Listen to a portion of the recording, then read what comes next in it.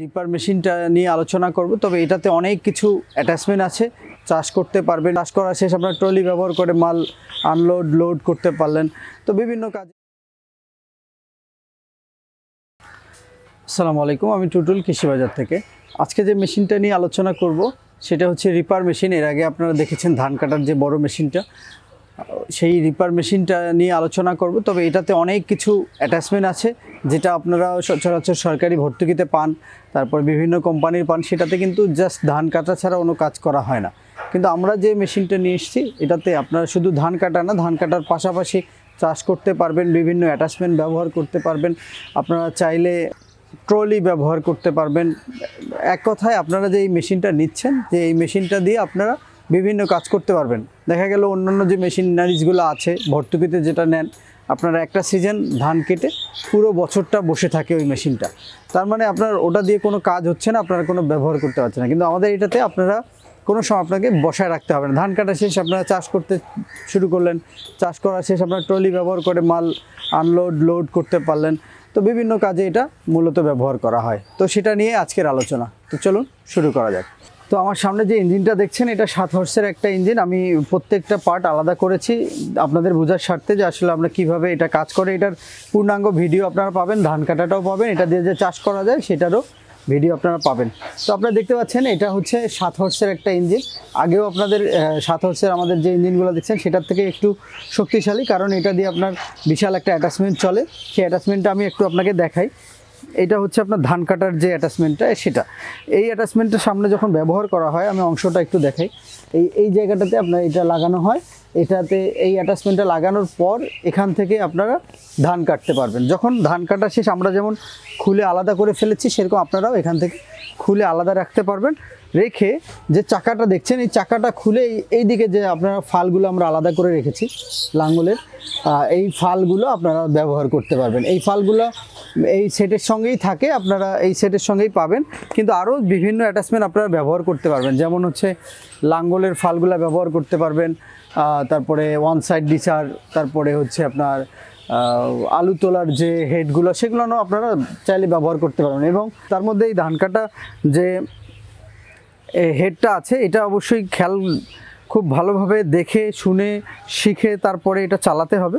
এবং আমরা ব্যবস্থা করছি যে যারা এই ইঞ্জিনটা অন্তত নেবেন, বড় যেহেতু ইঞ্জিন, অনেক টাকার জিনিস, সেটা অবশ্যই আপনারা ট্রেনিং একটা নেবেন, সেটা আপনারা চাইলে এখানে এসে আমাদের কাছ থেকে নিতে পারেন। আমরা একটা হয়তো বা অনলাইনে ট্রেনিংয়ের একটা ব্যবস্থা করতে পারছি, খুব শীঘ্রই করব।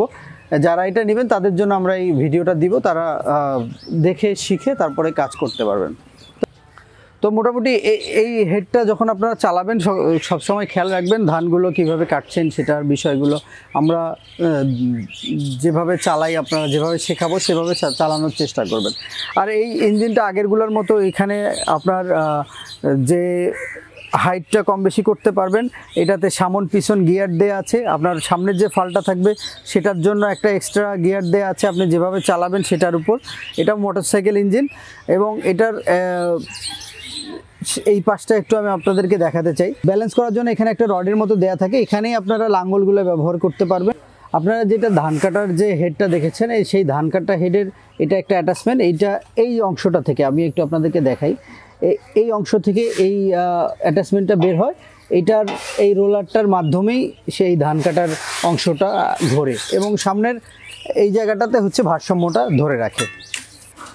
এই জায়গাটা হচ্ছে আপনার ওই চারটা নাটের সঙ্গে যুক্ত হয় এবং এটা হচ্ছে এর ভারসাম্যটা ধরে রাখে। আর এই শেপটার মাধ্যমে এই পুরো অংশটা ঘোরে এবং এখানে দেখতে পাচ্ছেন অনেক চেন দেয়া আছে। এই চেনগুলোর কারণে পুরোটা ঘোরে। আর সবসময় খেয়াল রাখবেন এই চেনগুলো কীভাবে কাজ করে, কীভাবে আপনারা ব্যবহার করবে, এই বিষয়গুলো আপনাদেরকে আমরা শিখিয়ে দিব। অন্যান্য যে অ্যাটাচমেন্ট আছে সেটা আপনারা এখান থেকে ব্যবহার করতে পারবেন এবং ট্রলিটাও এই জায়গা থেকেই ব্যবহার করতে পারবেন।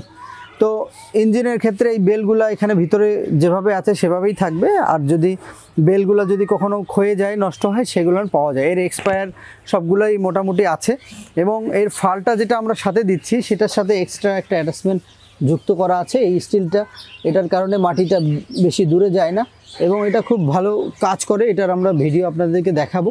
এবং এই ভিডিওগুলো নিয়ে আমরা একটা লাইভও করেছি। আপনারা চাইলে আমাদের ফেসবুক পেজে গিয়ে লাইভটা দেখতে পারবেন।